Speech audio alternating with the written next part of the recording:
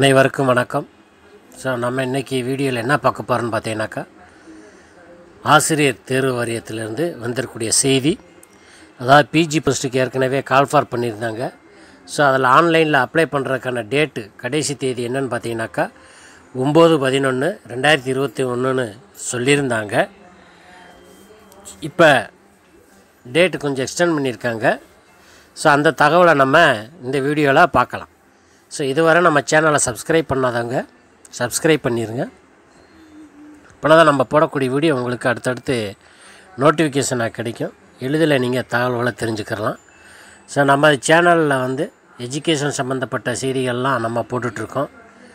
BEd படிப்பு சம்மந்தப்பட்ட செய்திகள்லாம் போட்டுட்ருக்கோம். ஸோ அது எல்லாமே நீங்கள் தெரிஞ்சுக்கிறலாம் ஸோ நம்மளுடைய சேனல் நேம் என்னென்னு பார்த்தீங்கன்னாக்கா மணி எஜுகேஷன் நியூஸ் உங்களுடைய நண்பர்களுக்கும் நம்ம சேனலை பற்றி ஷேர் பண்ணுங்கள் சரி வாங்க. நம்ம தகவலை பார்க்கலாம்.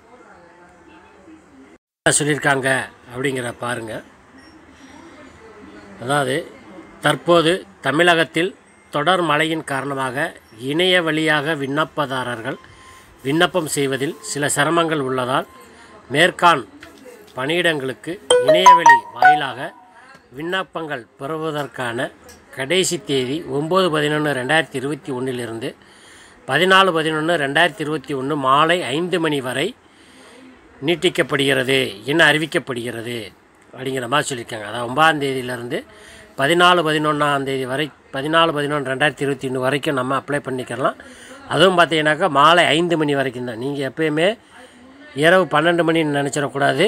பதினாலாம் தேதி பதினாலு பதினொன்று ரெண்டாயிரத்தி இருபத்தி ஒன்று ஈவினிங் ஃபைவ் ஓ கிளாக்கோட முடிஞ்சு ஸோ அதுக்குள்ளே நீங்கள் வந்து அப்ளை பண்ணிடுங்க இது வரைக்கும் அப்ளை பண்ணாதவங்க இது ஒரு வாய்ப்பாக பயன்படுத்தி உடனே நீங்கள் அப்ளை பண்ணிடுங்க நன்றி வணக்கம்.